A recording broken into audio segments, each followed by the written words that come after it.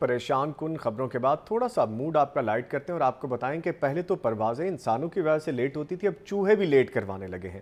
Airport پر نیجی airline کی پرواز P A four seven zero میں چوہا گھس گیا۔ پرواز پانچ گھنٹے تاخیر کا شکار ہو گئی۔ ایئر لائن کا عملہ چوہا تلاش کرنے میں ناکام رہا۔ پرواز نے دو سو اٹھارہ مسافر لے کر تین بج کر بیس منٹ پر جدہ کے لیے روانہ ہونا تھا۔ اس کی تفصیلات رانا محمد علی سے جان لیتے ہیں۔ رانا محمد علی، بتائیے، یہ چوہا پکڑا گیا کہ نہیں؟ جی ابھی تک چوہا نہیں پکڑا گیا۔ اس کی وجہ یہ ہے کہ ایپرن پہ جہاز کھڑا تھا کارگو لوڈ کرنے کے لیے۔ جیسے ہی جہاز کا پچھلا حصہ کھولا گیا ٹیل والی سائڈ سے، تو اس میں جو عملہ کام کر رہا تھا، انہوں نے یہ کہا کہ یہاں پہ ایک بڑا والا چوہا نظر آیا، جو سامان کے اندر گھستا ہوا وہ کارگو سیکشن جس میں جہاز میں سامان رکھا جاتا ہے، اس میں گھس گیا۔ اس کے فوری بعد پورے جہاز کا سامان نیچے اتارا گیا۔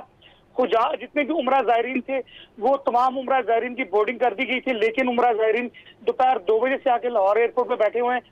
ابھی تک پرواز روانہ نہیں ہوئی۔ ابھی انہوں نے یہ کیا کہ جہاز کے اندر سپرے کیا ہے، جس کے بعد کچھ دیر بعد اس کا رزلٹ چیک کریں گے کہ چوہا مرتا ہے کہ نہیں۔ اگر چوہا مر جائے گا تو اس پرواز کو روانہ کر دیا جائے گا رات ساڑھے بارہ بجے۔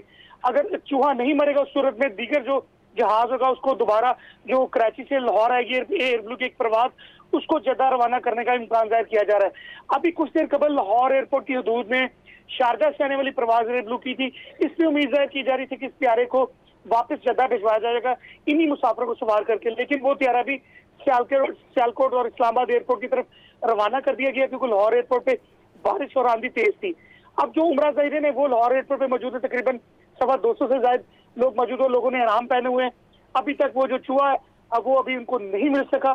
عملے کی بھرپور کوشش ہے کہ جلد سے جلد چوہے کو تلاش کر کے، تاکہ دوران پرواز کہیں چوہا کسی وائر کو اگر وہ نقصان پہنچاتا کہ اس سے آگ نہ لگ جائے جہاز میں یا کسی حادثے کی صورت میں اس کو بچایا جا سکے۔ جی۔ ایک چوہے نے ادھم مچا رکھا ہے اور سینکڑوں لوگ انتظار میں ہیں کہ چوہا پکڑا جائے تو وہ سفر کر سکیں۔ بہت شکریہ، رانا محمد علی۔